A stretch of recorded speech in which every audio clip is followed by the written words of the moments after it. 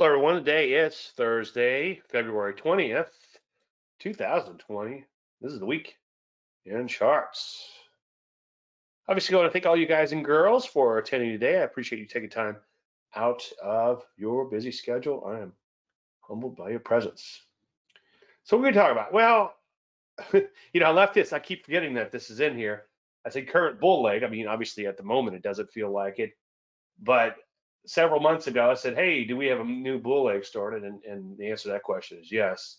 Speaking of questions, if you have any, feel free to ask. If you don't mind, just so my ADD doesn't kick in, keep them relative to the slides, and when we get to the live charts, you can ask about other things. And if it's an answer that requires a lot of thoughts, I will make it part of the Q&A so we can capture that content and put it on the back end of the website and that'll make a little more sense if you if we do end up with something that needs to go there.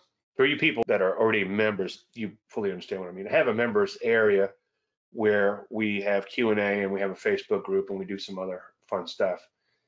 Your stock picks, if you don't mind, wait till we get to the charts. And when we do get to the live charts, the live charts that is, ask about one stock at a time. Well, I woke up this morning and say, what am I going to talk about? I said, well, everything is so active lately. There's so much going on that let me just take my last 12 trades just so sort of similar to what I would have done recently in my stock chart show. And then I got to thinking after I put it all together, it's like, well, this is pretty much just the same thing I've been doing, which is following up on my ongoing quest. And if I succeed, I'll own the world. And even if I just do okay, I'll still be doing quite well. And that is to have the short term trading pay for the longer term trading. And that's through the main methodology, the core methodology, meaning that we're taking a swing trade profits and then trailing a stop higher in attempted or, or longs, in attempt that is, to capture a longer term trend, sort of free rolling or playing with the market's money, so to speak. And also the occasional opening gap reversal. Now, those can be a slippery slope, but when they work, it's like butter. You could put a little money in your accounts, and let's say you could pick up maybe 1% sometimes, or even a half a percent, 100K, 500 here, 1,000 there. And provided you don't lose too much and only taking the best and leaving the rest, and I know it's it's it's a slippery slope. You got to be careful not to go after everything. And I know sometimes with the group, we all get excited and we all want to make as much money as possible. And maybe that's something I need to talk about at some point in time too and it's hard sometimes it's harder for me to just sit back and let things unfold. And by that i mean wait for the best. Anyway before i digress too far i'm sure i'll touch upon that in one second. There's a disclaimer screen as you know you can lose money trading or as often summing up. All predictions are about the future and a lot of stuff can happen between now and then.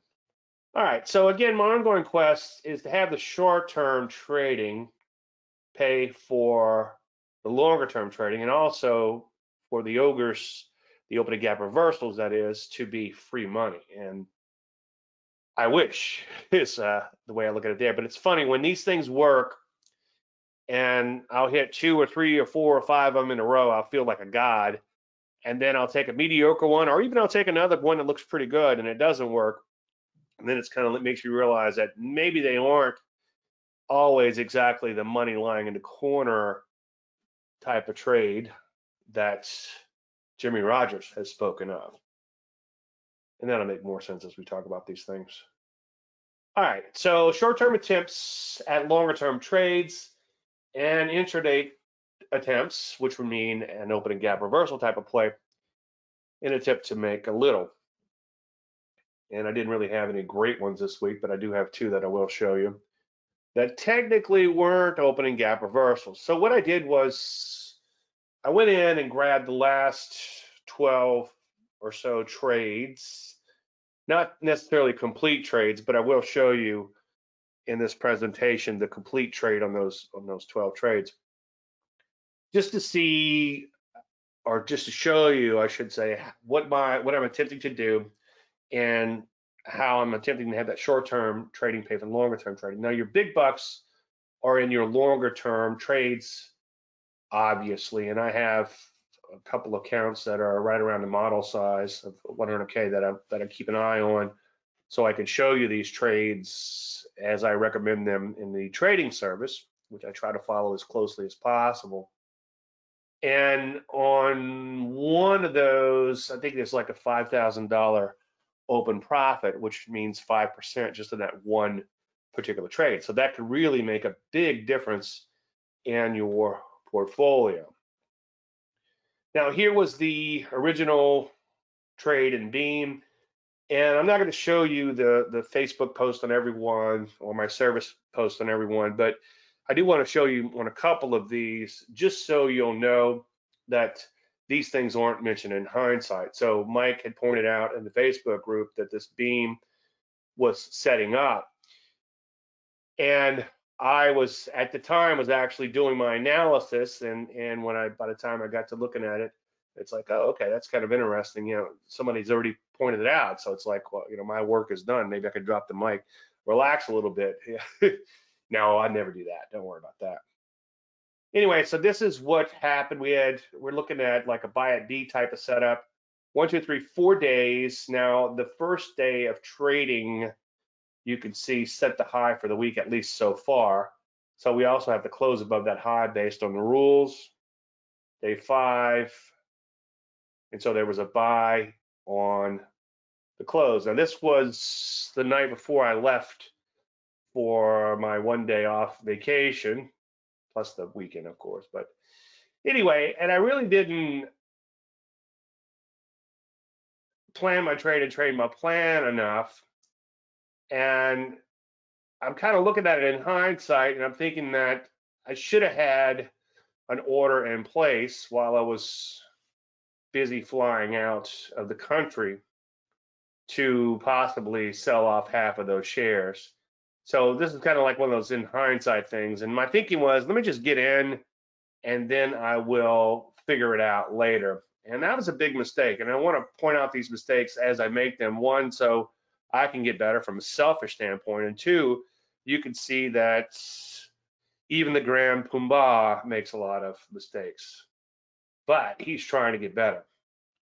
So that was the 1M trade and an IPO. Here's one that was in the service, and I'll show you the original trades I think I have that I made on this one based on the Pioneer setups.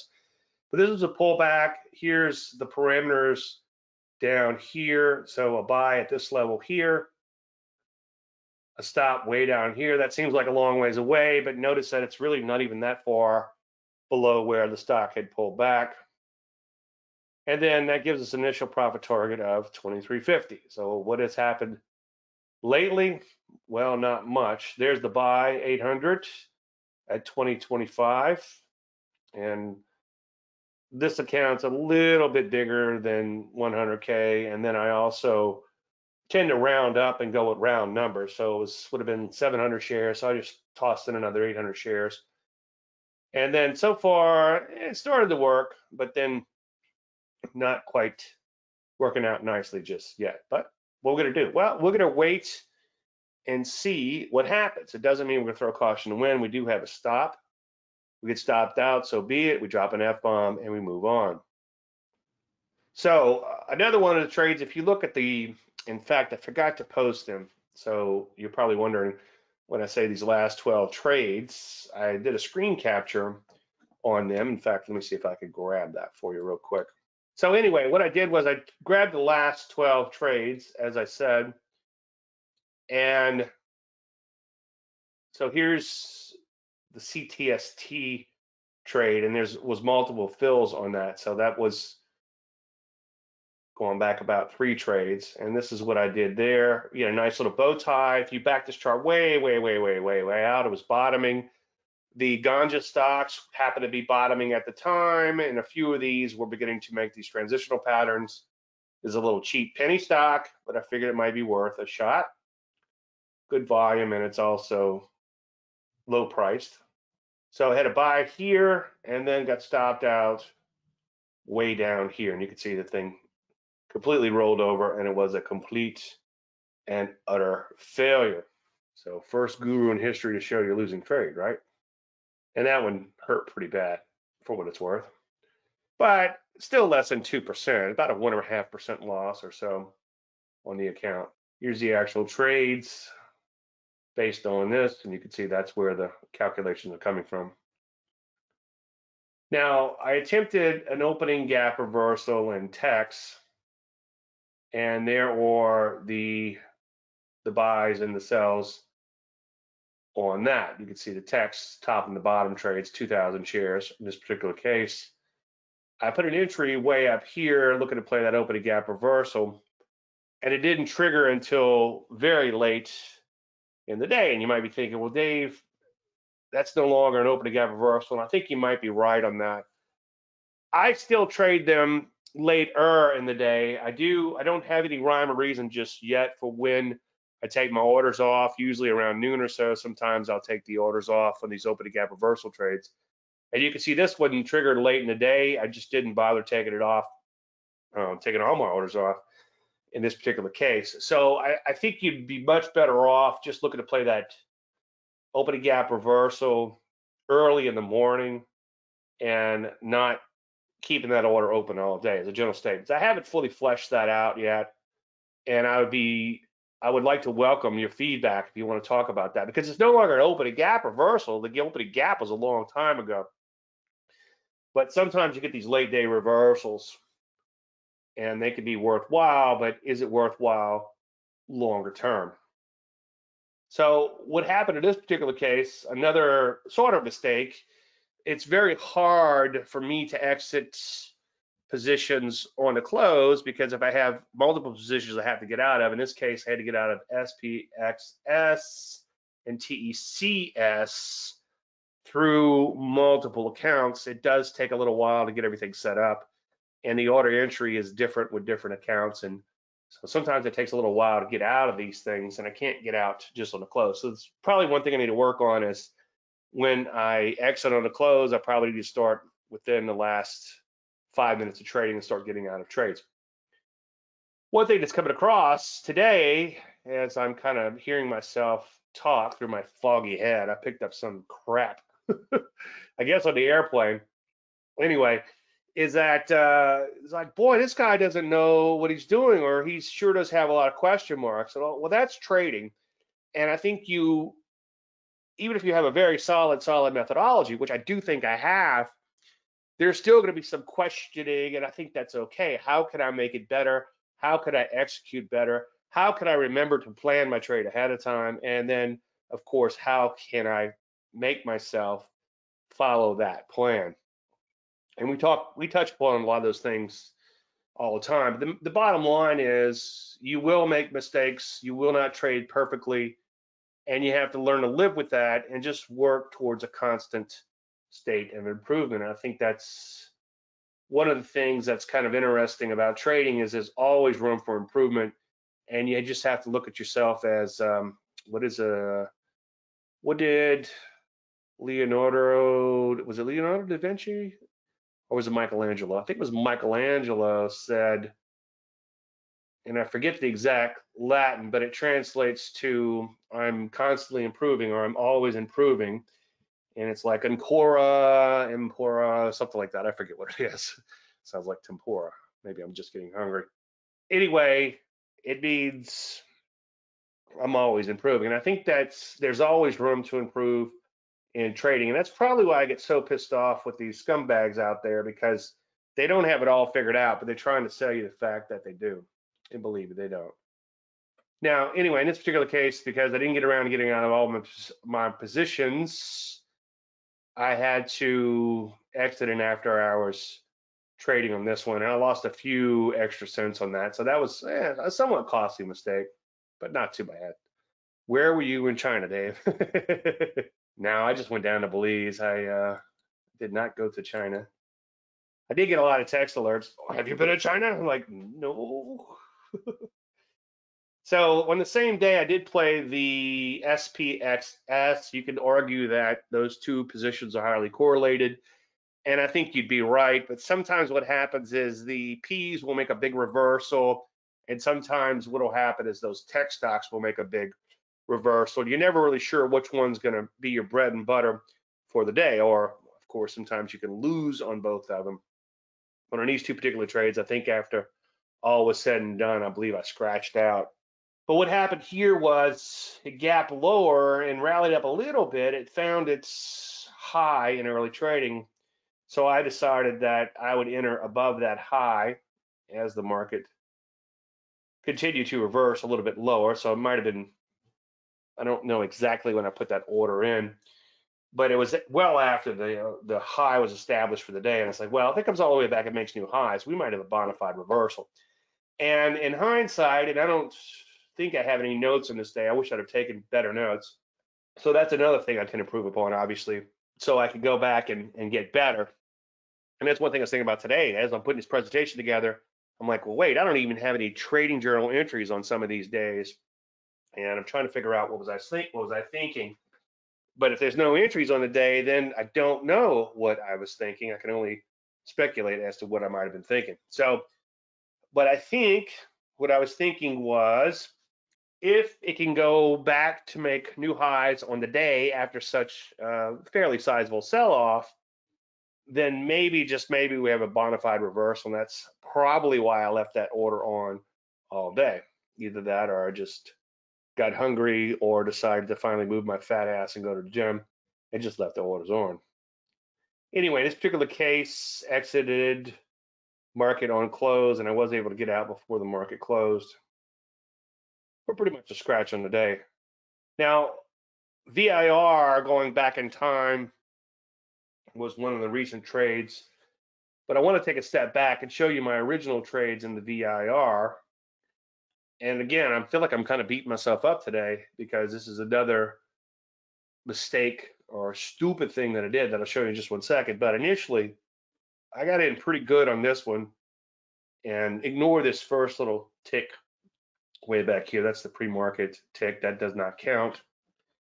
But I was buying into this on a kind of a Landry light, 5 SMA, brand new highs, buy a B type of setup.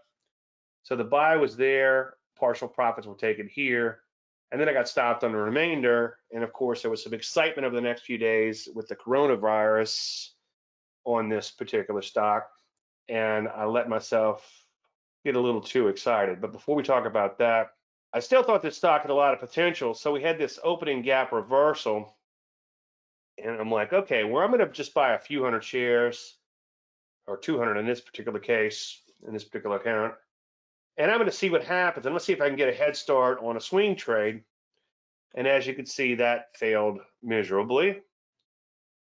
And I don't have a lot of regrets on that, but I did you got to be really careful if you're going to hold an intraday trade such as an opening gap reversal overnight. As a general rule, do not do that unless you're trying to get a head start on a swing trade, which I was in this particular case.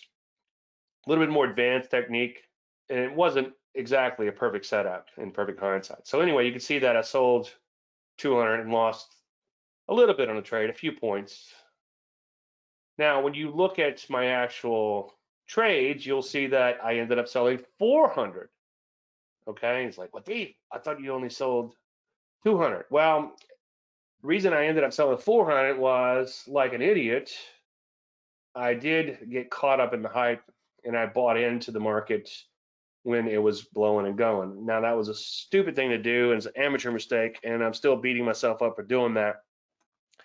And I often tell people, don't confuse the issue with facts embrace your emotions, but keep them in check, right?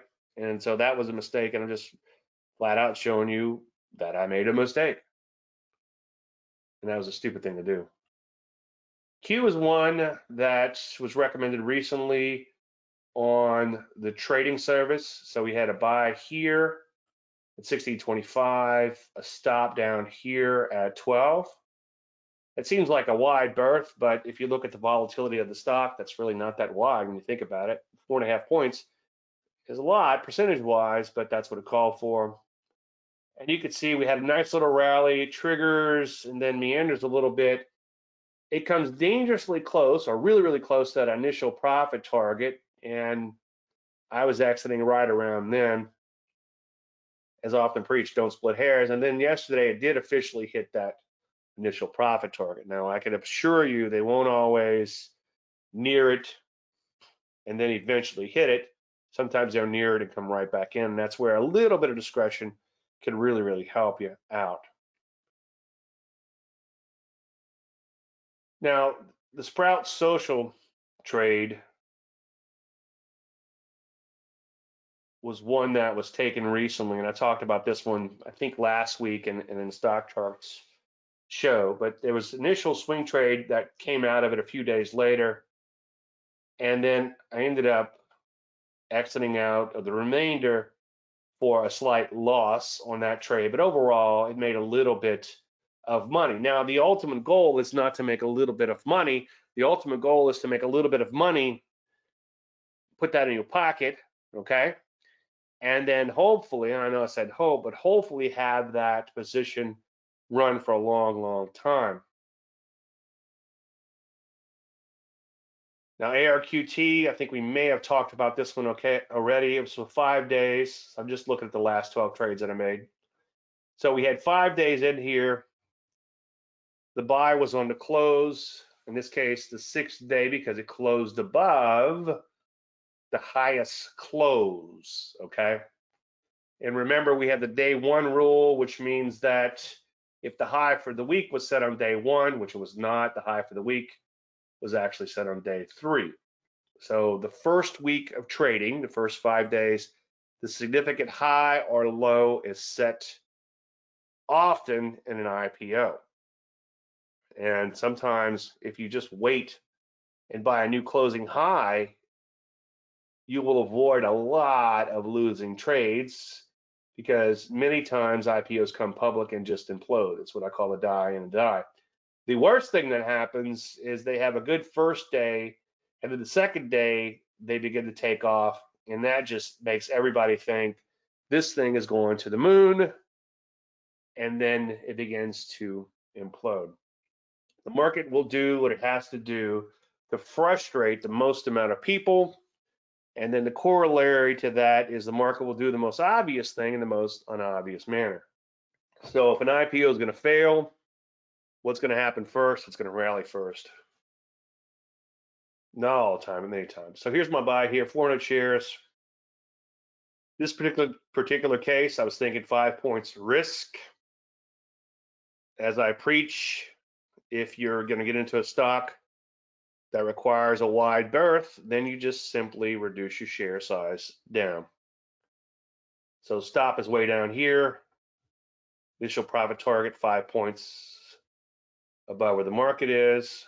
There's the actual buy. Notice that it's 10 seconds before the close because this is a buy on a close system, a market on close system.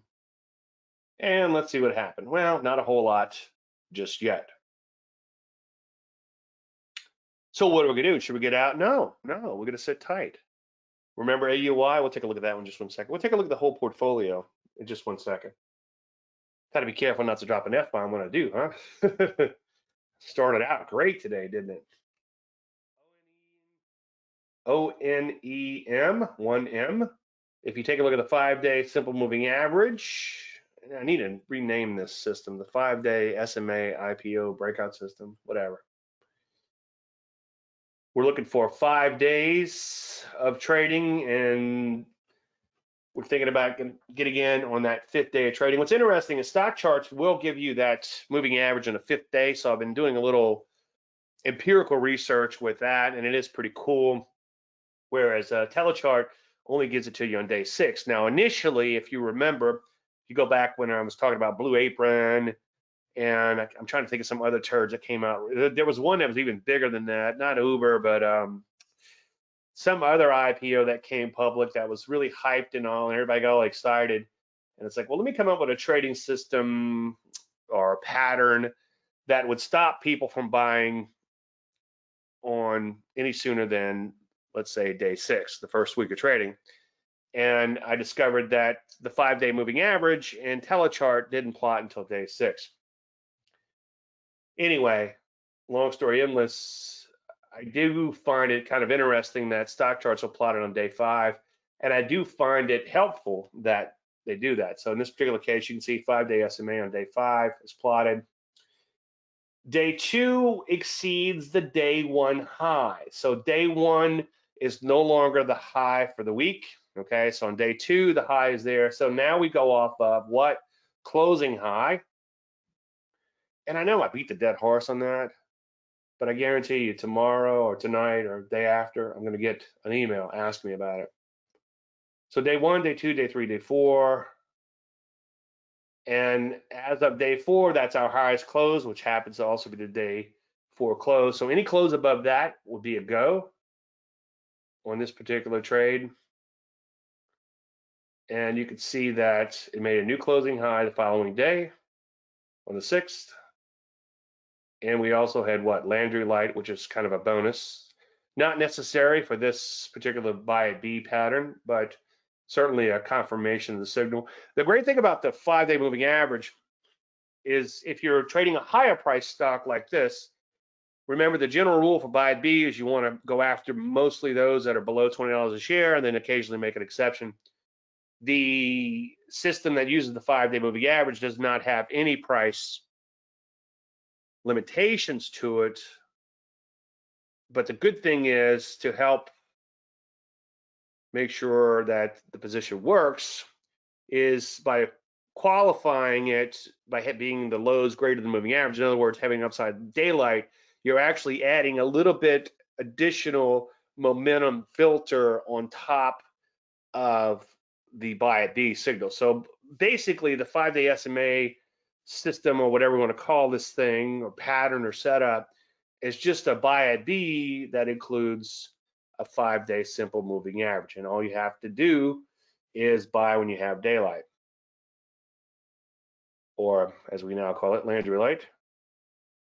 And that's just simple, simply the low is greater than the moving average. Now, if you get bored, look at a, a, um, a, shit ton of moving averages and look at daylight, look at exponential moving averages, look at simple moving averages. I tend anything less than 10 days, 10 days or less, I should say. I, I tend to prefer a simple. Anything, anything above that, I tend to prefer an exponential. The only exception would be when looking at the overall market and the market starts getting a little iffy. I like to look at a 50 day simple and a 200 day simple simply because those two moving averages are well watched. Now, here's some random thoughts, some of which are left over from last week. And this is something that I do want to continue to beat the dead horse on. And that is a lot of time as a trend follower, you're going to be spending that time being less wealthy. In other words, you're going to be giving up the open profits. And if you look at some of these stocks that we got in, that took forever to get to the initial profit target. And some of you were getting very impatient, and as was I. I just don't come out and say it, right? but they took forever to get to that initial profit target. And in the meantime, you're losing money. And it's hard. Check your quote on SDGR. Okay, I will. The problem is I don't have enough shares going on that because we're we're doing that in that little fun account. We're going to try to run a we're going to try to run um, like these gurus that tell you what they did after they did it, whether they did it or not. I don't know whether to believe them, but no one tells you ahead of time. And Stanley Kroll, I was reading an old book that I had laying around from Stanley Kroll on uh, commodity trading. It's kind of an interesting book. There's a few little gems in there, but anyway, he says nobody ever says what they're going to do ahead of time. It didn't do it, so maybe we'll have some fun and do that. But the point is, as a trend follower, you're going to spend a lot of time a lot, a lot of time being less wealthy, meaning that you're giving up open profits or you're waiting for the initial profit target to hit and so on and so forth. Yeah, there you go. SDGR, it's up about six bucks or so. Yeah, I only got like 100 shares of it though. So what, you know, and so we're doing, we're having, we're trying to make as much money as possible. Do we cash out and say, okay, well, we put 600 bucks in the account and, or do we just let it ride? So that's something I haven't fleshed out. Do is sell 50 shares. Um, good point, Chris. So maybe we need to just flip out 50 shares, better than poking the eye, right? Anyway, so again, you're going to be a lot of you spend a lot of time less wealthy, meaning that you're giving up those open profits again. Not to beat a dead horse on that, but the the danger thing here, which you have to be really careful of, and believe me, I, it's you know I'm a really emotional guy, and I am not immune I mean, just this morning I was up you know, a few thousand in some of these accounts, and then now I'm down a thousand or a few thousand or whatever. And it's like there was a big old swing, and I think I might have accidentally slipped an F bomb out. And where I'm going with this, excuse my foggy head as I try to work through these thoughts, but where I'm going with this is that from a neurology standpoint, a negative observation, which creates a negative emotion, has twice the impact on you as a positive emotion. Okay. So I could be up quite a bit amount of money and I'm not really that happy about it. But if I'm down just a little bit of money, I find I get kind of crotchety. I know it's cliche, but plan your trade, trade your plan. I bought a stock as I'm trying to leave town and scramble to get out of here, buy the stock, and then shut down my office and finish up my routine or whatever and then pack my crap and jump in the car and all these things. And I'm thinking, well, I'll make, I'll plan later. You know, I'll plan on this later. I'll figure this out later. And then felt pretty good when I saw the stock was up nicely, but then failed to lock in some partial profits, which I might regret based on the uh, SDGR trade, right? Maybe I'll uh, yeah, it's kind of nickel and diamond to sell 50 shares. So you want to follow the process, follow the process, and follow the process. And I've been preaching that forever. And that's where like the dead money report comes in. Okay, we get into this stupid little gold stock. It does nothing for the first week, nothing for the second week, nothing for the third week, nothing for the first month, nothing for the second month, nothing for the third month. What do you do? Well, you follow the plan. If the plan says stick with it until stopped out, you stick with it until stopped out, or the initial profit target is hit, you take those partial profits and then you follow the stock higher. So I'm not perfect, but the point I'm trying to show lately, this little kick I've been on, is that you should be able to see how the methodology works, the taking of the partial profits, the trailing of the stops, the sitting around and waiting for the position to move when it hasn't done anything wrong, meaning that it hasn't hit the stop. You should be able to see all these things happen. And part of the reason why I'm starting to show you all these real trades is kind of inspired in part. A couple of you guys said, "Hey, can you you know start showing us some real trades?" And I'm like, "Yeah, absolutely." So it was inspired in part by you, but also inspired around the same time by Dalio's principles. Dalio wrote a book, Ray Dalio, called Principles, and it's a pretty good book, and I'd recommend that you read it. And his point is that he believes in radical transparency by being open and I've actually tried a few things, few of those things with my wife before, and it actually worked out pretty good. Some of the thoughts and concerns or whatever that I had, and you know, it's a slippery slope. If you're married, you guys probably know this, but a few things that I kind of opened up on, and she's like, "Wow, I didn't realize that, or I didn't know that," and actually worked out pretty good. But uh, that that one I'm working on. It'd probably be a lot easier just to show you everything I'm doing trading than to to do those things with the wife. Okay, so let's go ahead and hop into the overall charts. And then what I want to do, let me get everything uh, shifted around. And let's see, do I need to, let me take a look at that. Uh, I guess I could flip out. Let me just flip out 50 shares on that. All right, thank you, Chris. I my plan was since I only have 100 shares, let me just hold on. But hey, maybe need to flip out a little bit. By the way, one thing that I, I really need to flesh out is that the Chris had joked yoked uh, yoked. Chris had joked yesterday that somebody on YouTube had turned 14,000 into 4 million or whatever it was.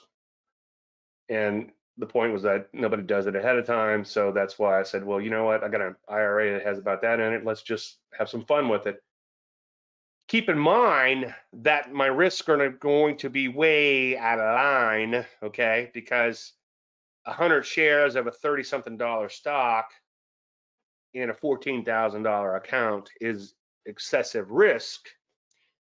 The only way to parlay a small account is to take excessive risk. But Dave, you say not to take too much risk. Well, we're just having fun with this, right? If that's all you have for your trading, then you're going to have to be a lot more prudent. But by being super risky or taking a lot, a lot of risk,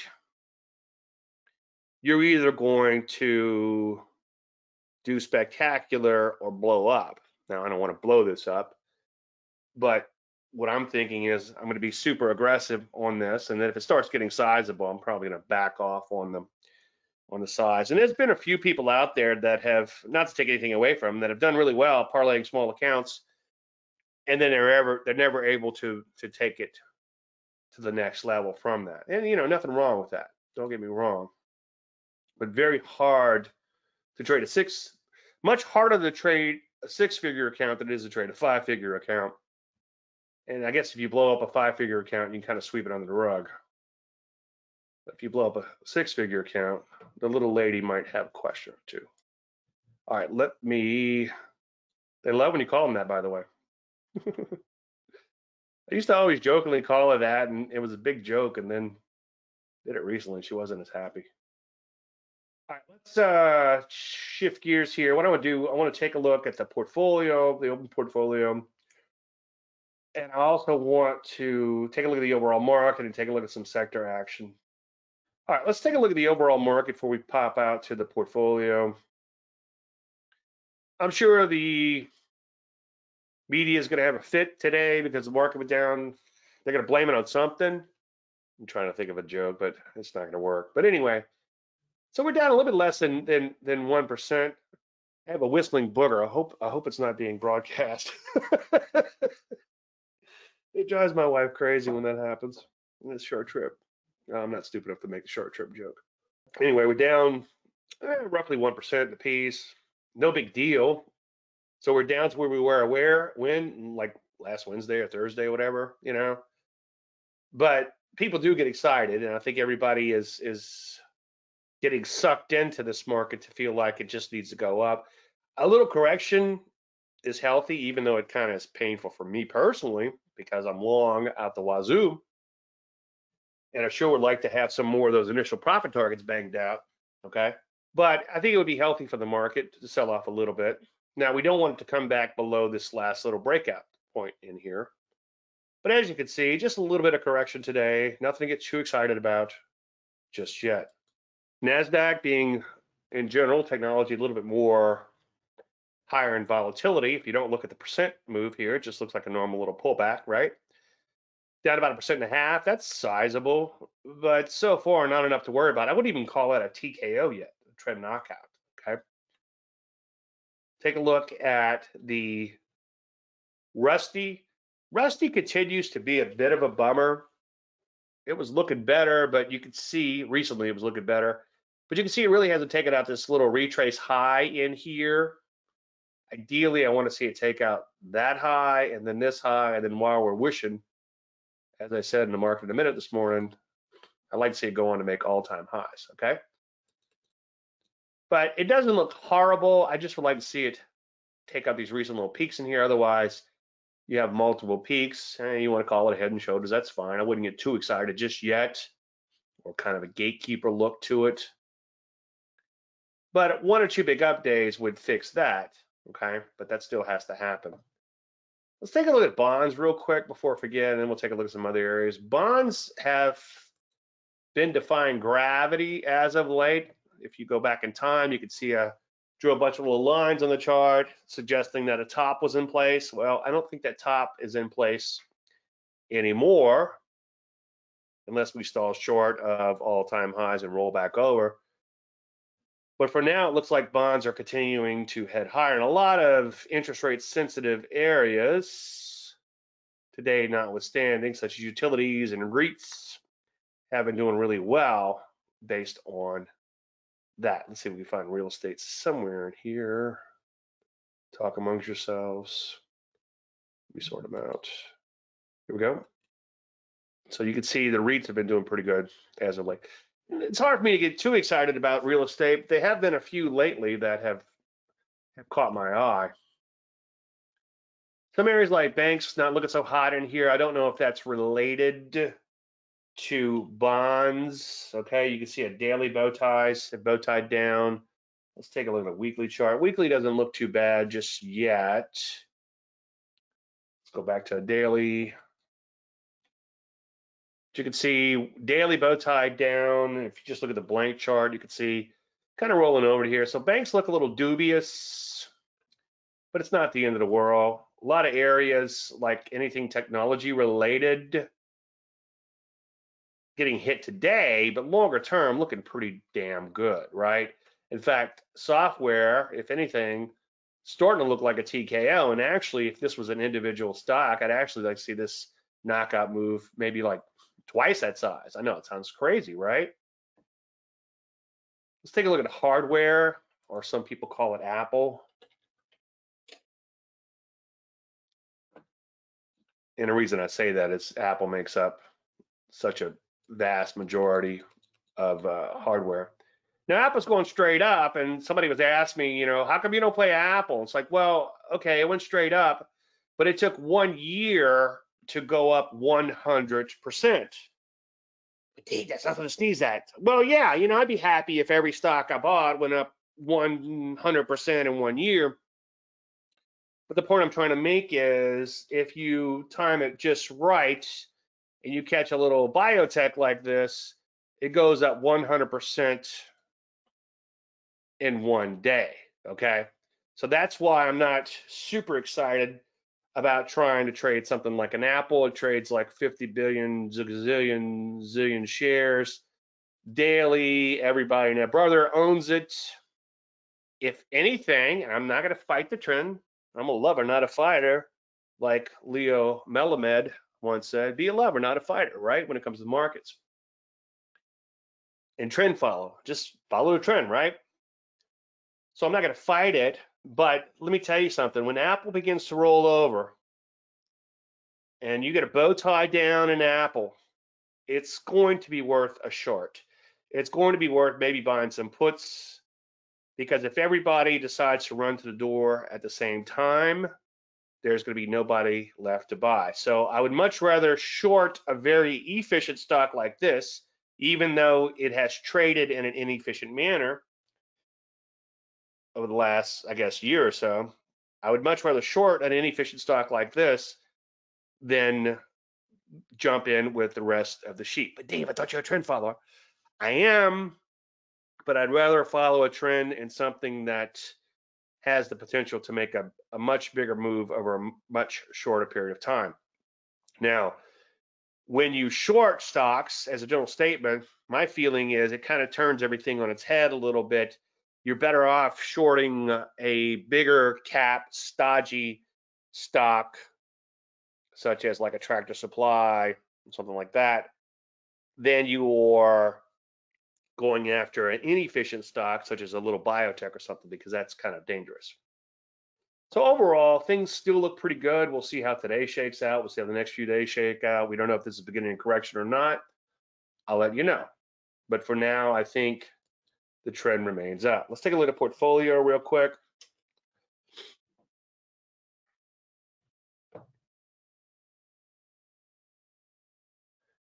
BR, BR, this one's been all over the place. We entered way back here. It's all over the place. It's actually catching a little bit of a bid today. So what do we do? Well, until the stop gets hit, we don't do anything. Q we talked about. Q ran up came within one cent of that initial profit target. As I preach, do not split hairs when that happens. And then finally, yesterday, it actually officially hit the profit target, and we're in free rolling mode there. KOD's been a little disappointment as of late. We've got a very liberal stop in that one. Get stopped out, get stopped out. You can't look at how much money you gave up. I know, easier said than done. Okay. I dropped F bombs too. But more importantly, you need to look at how much was made. but I hear you. But if you are upset about the money you gave up, just send me whatever's left in your account after the trade based on those trades, and I'll be happy to uh, take that troublesome cash off your hands.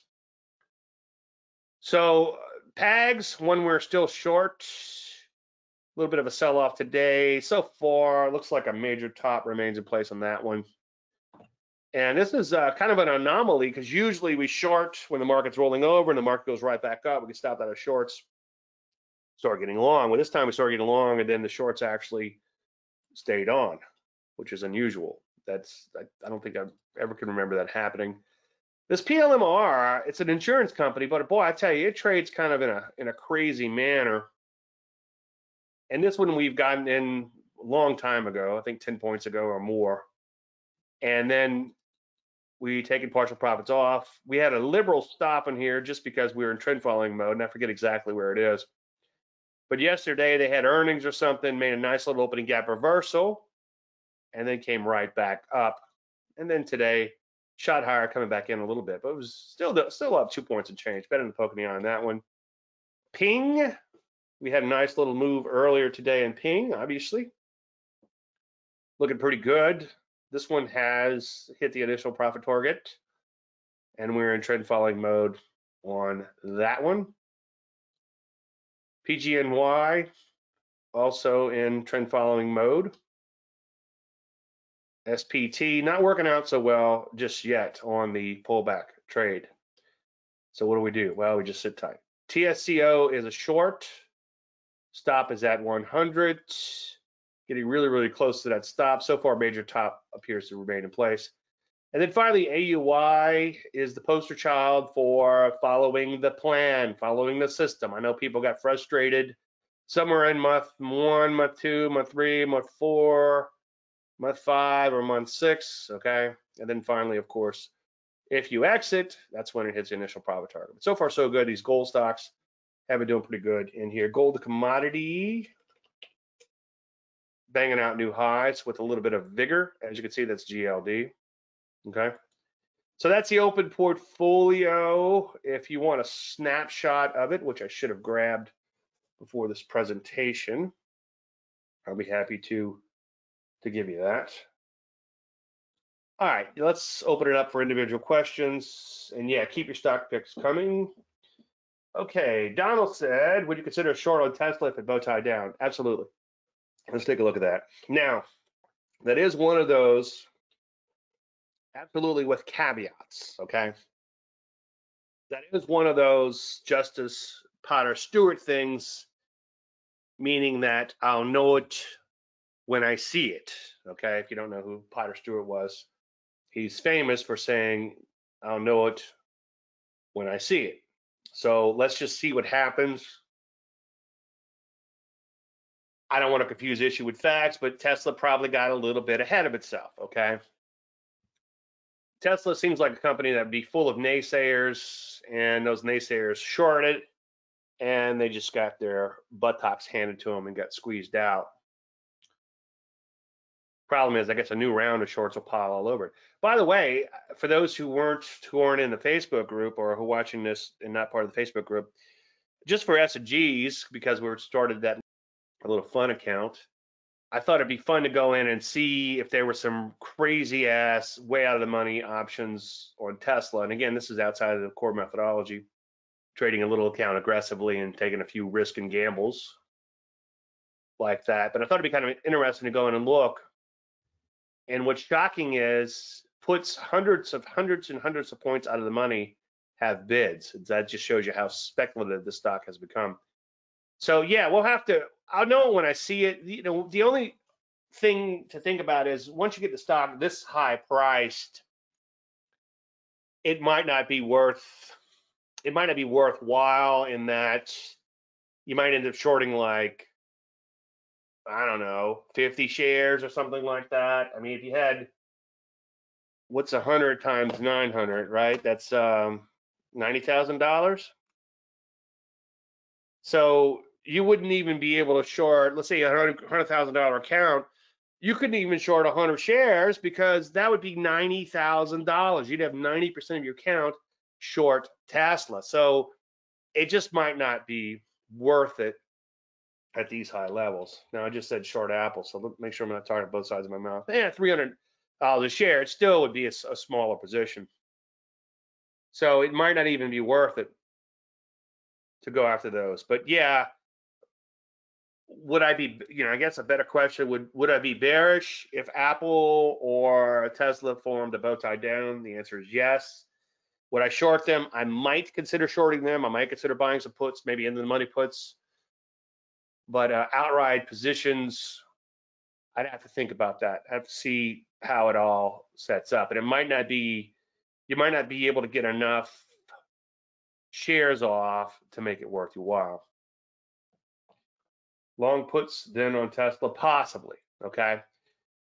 Now, you probably would have to go into the money quite a ways to make it worthwhile. Now, without going off on too much of a tangent, because I know we've covered this before, but deep in the money puts as a substitution for stock, I do tend to, I will short outright, but I do tend to take a look at deep in money puts as a substitution for stock because let's say I can put up $10,000 and I wouldn't even want to put up that much, but let's say, let's just pick a little bit more feasible number. Let's say $5,000 on a 100K account. I'd rather put up $5,000, which is still substantial, don't get me wrong, and short Tesla via in the money puts than to short 100 shares of Tesla and put up $90,000. Okay. So you might want to consider an in the money put and then decide on how much fluff you're willing to pay. How much money do you want to pay so you're not putting up $90,000, okay, to short it. So think think of it that way. But we'll see. Yeah, Donald, uh, possibly in the money puts. All right, Chris wants to talk about ATRC.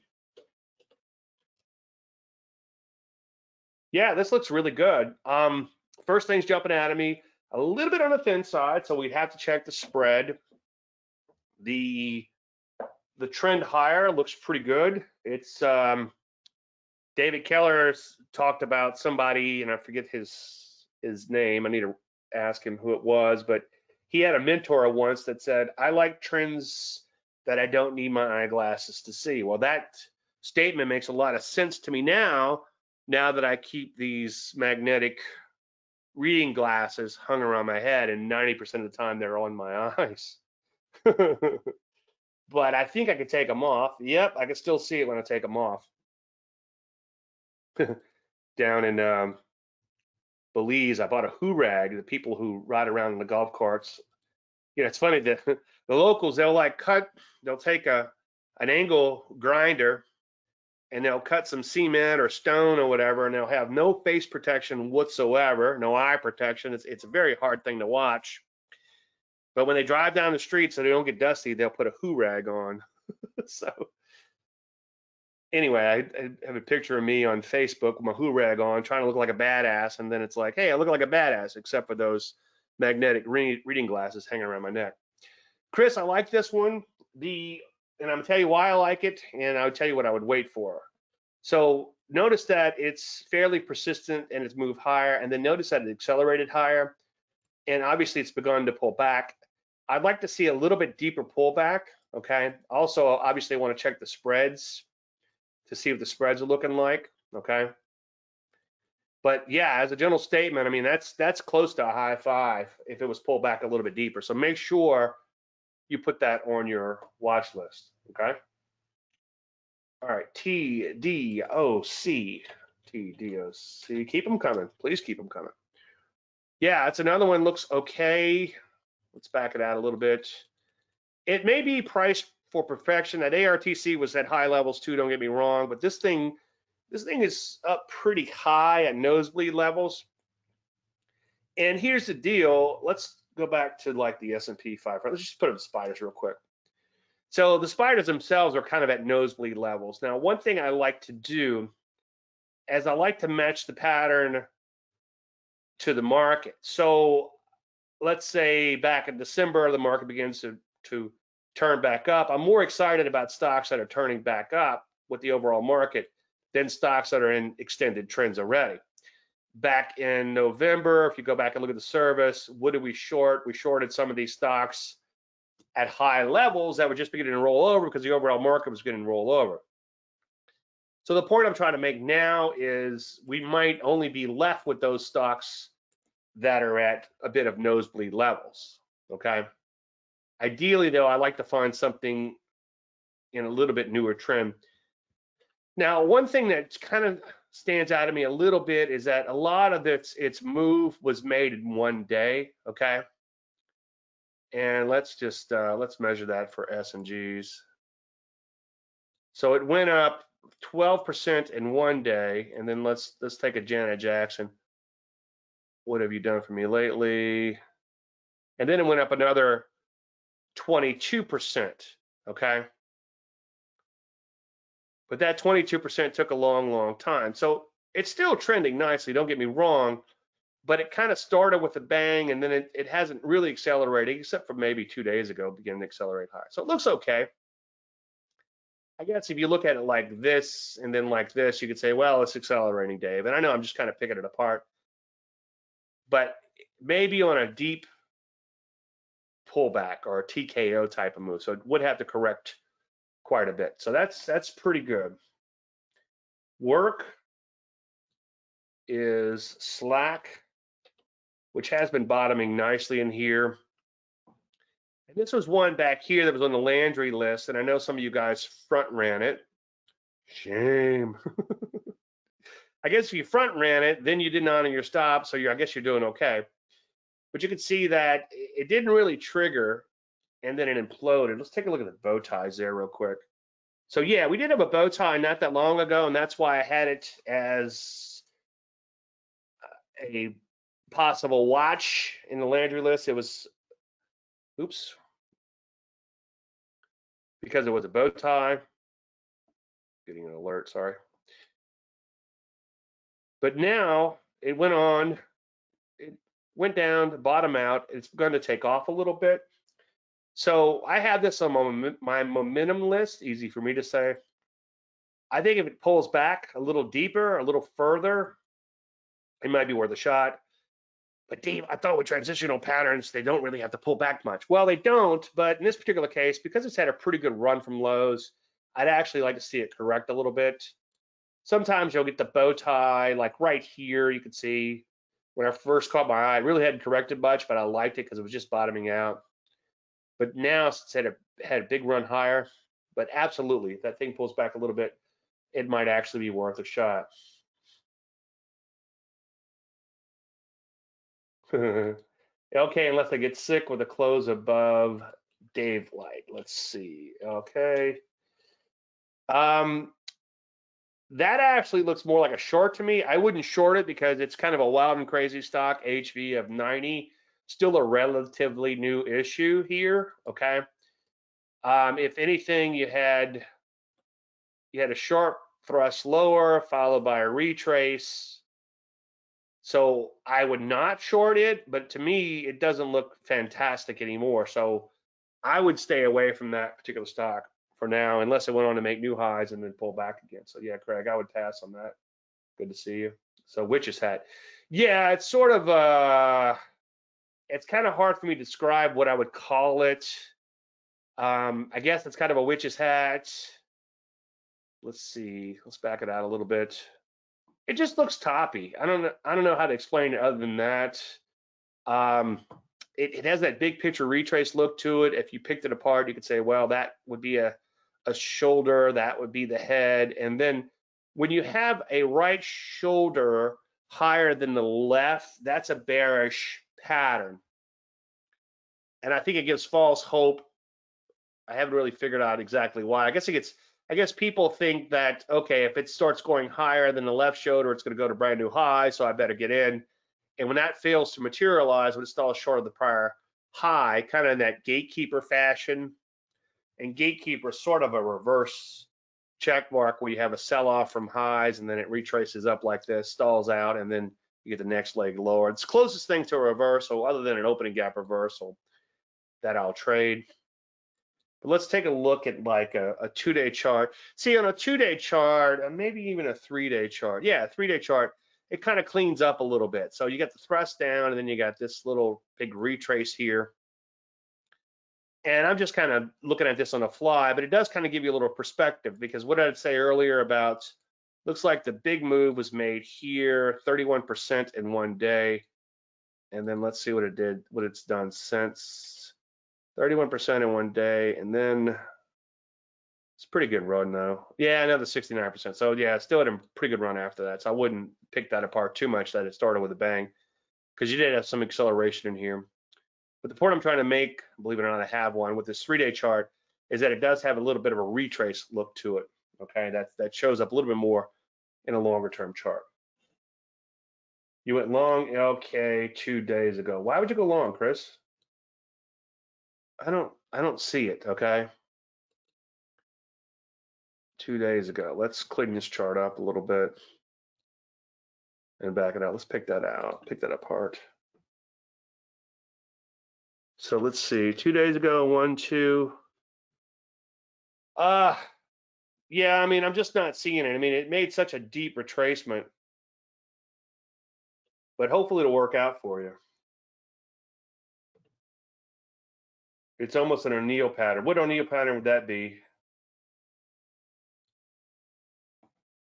Oh, O'Neil had a book on shorting once, and then I used to have that somewhere. He actually talked about shorting many years ago, and then I guess that became like a rare book because he seemed to become bullish all the time. Short ARMK. Let's take a look at that. Oh, you know what else we could do? Here's the other thing too. Just for SNGs, let's put the bow ties in, okay? So not quite a crossover, but when your when your bow ties are really starting to, let's see what you had come together and look like they're going to implode, that's when you, you probably don't want to go long stocks that look like that, okay?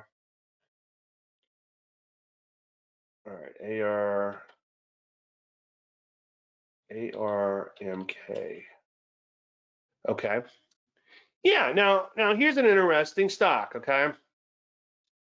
So I want to be long biotech. I want to be long something exciting, okay? I want to be short something that's a little bit more boring, but has plenty, plenty volume, okay? And ideally might be priced for perfection. So it's a restaurant. They're not splitting the atom. Aramark. Has anyone ever is anyone ever eating at a eaten at an Aramark? But it's kind of cool because it broke out to brand new highs and looked pretty good back here but then it imploded and then it took out this base and now it's pulled back a little bit. So yeah, I think that looks like a pretty darn good looking short. High five as far as that's concerned. I don't see any reason to go out and short anything just yet though, okay? But let's take a look at a bow tie. You got a bow tie off of all-time highs. So I would say, yeah, absolutely. But I'm again, I'm not really too excited about shorting anything at this juncture but yeah, if you wanted to fire one off, just to remember what they look like. They're concession folks. So they sell concession stuff. All right, concession folks. Like at stadiums. Yeah, I get it. I know what concessions are. But yeah, I got you. Cups. Okay. Any any additional ones you guys want to look at? You got me here. Wow, look at that. And see, I went into this thing with no plan and I took off 50 shares just to put some money in, in the account. So this is going to be, again, that account, it's just going to be, to be traded a little bit differently. Now you can't get a little bit pregnant, so I have to be really careful. yeah, see, you know, I, uh, or you can argue either way on that. You know, you could say that, well, you, um, you got caught up in the moment. So I went in without a plan just because it's like, well, it's only 100 shares. Who cares, right? Well, you know, I guess you can't get a little bit pregnant, but we're trying to make as much money as quickly as possible, but we also don't want to lose or give up too much over profits too. So, but yeah, that's uh, that looks pretty interesting so far. yeah, Chris, that's no big deal. All right, anything else? Go once. Going twice? While we're in impasse, I want to thank everybody for coming. Appreciate taking time out of your busy schedule to be here. Anything unanswered? www.davelandry.com slash contact. We don't talk to you now and then, everybody have a fantastic weekend. Thank you guys and girls for attending today. Thank you so much.